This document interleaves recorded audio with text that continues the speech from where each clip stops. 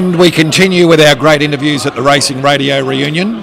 Hello, Shawn Cosgrove. I do love you, Craig. You know that. You're lucky I'm sober and you're pissed. well, I've had a few scotches, but I think we're doing pretty well. We are, mate. What a great day. Thank you for organising. You and Lofty have been fantastic. We've had good fun. When Yeah. you look around this room, Yeah. what and you see some of the legends ah. like John Vertigan, Brian Martin, Greg Miles, Ray Benson. Mate. What are your memories of the great days of racing radio? How lucky I was to be there. Mate, I came from the bush in Queensland in 1976. I walked in the door. and I finished up doing afternoons. And the roster I've still got.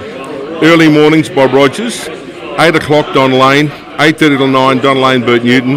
9 o'clock, Bert Newton. Midday, a scrubber called me. 4 o'clock, Ugly Dave Gray. To be in that company was just unbelievable. I, I, I cou- couldn't believe it. Still can't. And all great blokes. Now JV turns 80 next Oh, week. What a legend.